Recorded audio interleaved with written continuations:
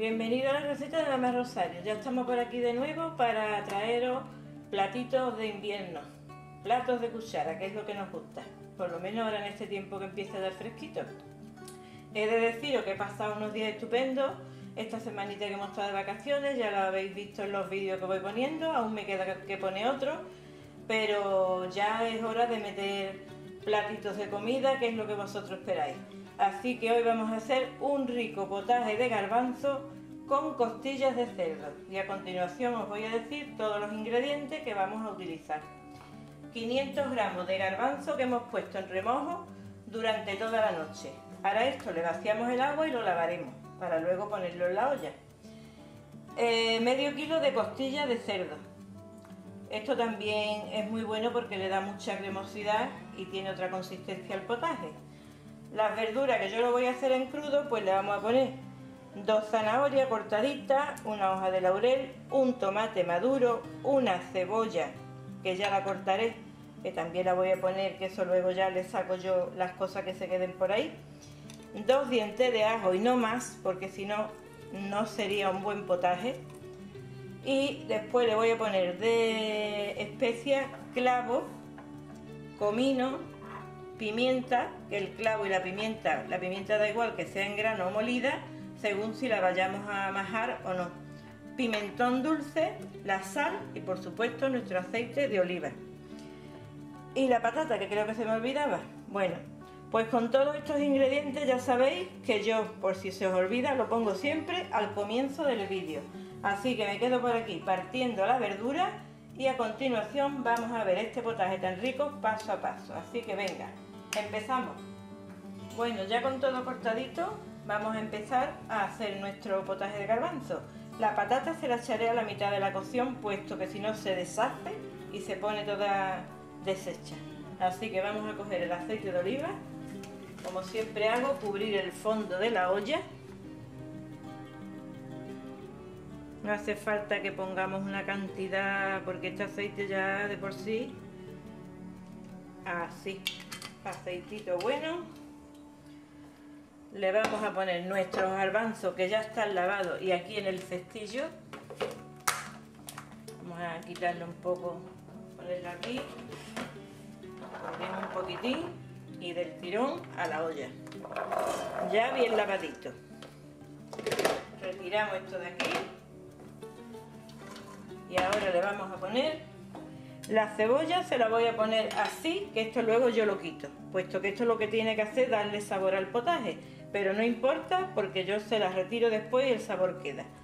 La cebolla, una hoja de laurel, que también se retira por supuesto después, un tomate pelado, que esto se va a deshacer, porque esto está tierno tierno también, que le dé sabor. Le vamos a poner eh, las zanahorias, los dos dientes de ajo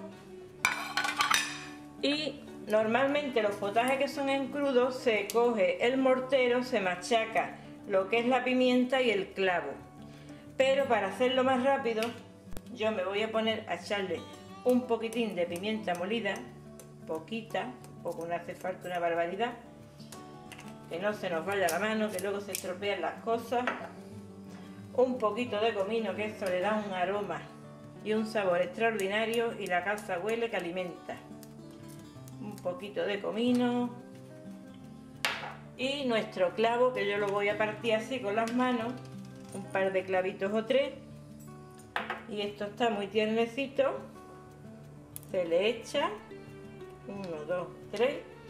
Y esto ya con el mismo hervor de la comida eso no se nota siquiera después.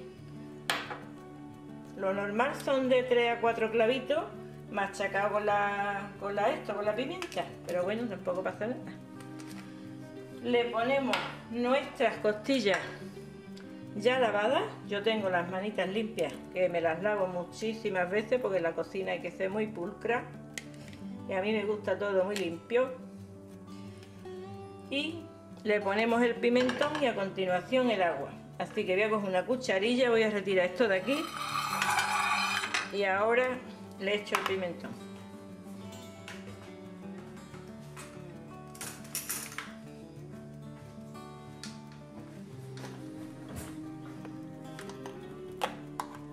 y ahora lo cubriremos de agua.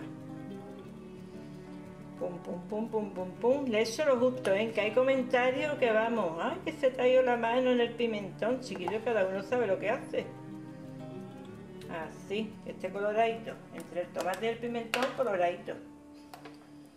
Bueno, le voy a poner su agua y ya a continuación, cuando esto empiece a hervir, se le pone su sal, su patata, etcétera. Hoy la mano que la cruzo por el medio me riñen por aquí.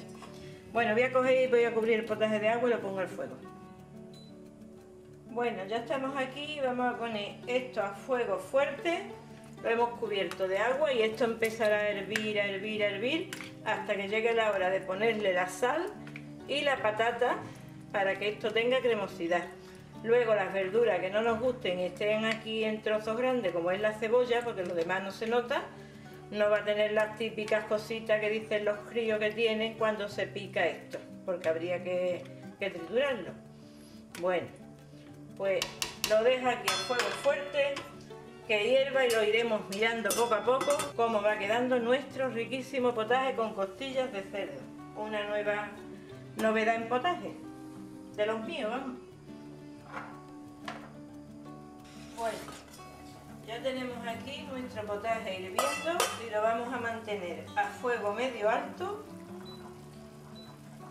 para que no se corte la ebullición y esté constantemente hirviendo. Mira, como veis, aquí se ve, ya dentro de nada se verá todavía más coloradito por el tomate y todo lo que lleva. Y dentro de un ratito le vamos a poner la patata. Los potajes, si os dais cuenta, yo tengo grabado muchísimos potajes de garbanzos y cocido y todo este tipo de cosas. Pero no todos son iguales. Entonces hay que reinventarse y hay que ir innovando y haciendo potajes que no hayan hecho otras personas o que te gusten a ti y cambiar. Bueno, los dejamos aquí y estaremos mirando y vigilando hasta que estén nuestros garbanzos tiernos. Y ya digo, a la mitad de la cocción pondremos la patata. Bueno, vamos a dar una vuelta. Oh, está que huele de maravilla. Mirad, ya le he puesto la patatita, le he cortado a cuadritos y se la he añadido. Ya simplemente, como lleva una hora de cocción, pues en el momento que esté todo tierno, le pongo la sal y ya emplataremos. Aquí va a estar todavía un tiempecito, puesto que los garbanzos a mí me gustan naturales, echarlo en remojo y, hacer las cosas pues de la manera tradicional, respetando siempre lo que hacen los demás. Bueno, lo dejamos aquí tapadito y esperamos hasta ponerle la sal y que ya podamos emplatar. Bueno, ahora es el momento, veis que esto está ya en plena ebullición y casi casi tierno, pues es el momento de ponerle la sal. Normalmente yo la sal la pongo a ojo y le echo un puñado de sal con la mano, pero para que tengáis idea, lo voy a hacer con la cuchara sopera. Le echo una cucharada sopera y un poquitín más ya que es bastante cantidad. Yo creo que así está en su punto. Tampoco las comidas tienen que salir muy saladas, porque sosa siempre digo lo mismo, que tienen arreglo. Saladas nunca. Bueno, pues que se quede así espesito, que siga aquí con la ebullición constante y luego ya veréis el emplatado porque esto es una maravilla. El aroma que suelta, esto es los potajes típicos andaluces. Bueno, vamos a taparlo y seguiremos hasta que esté tierno del todo. Bueno, oh, mirad, mirad qué rico potaje y qué coloradito entre el tomate y el pimentón. Bueno, pues vamos a emplatar y ya veréis el resultado. Bueno, pues aquí está el resultado de nuestro rico potaje con costillas de cerdo.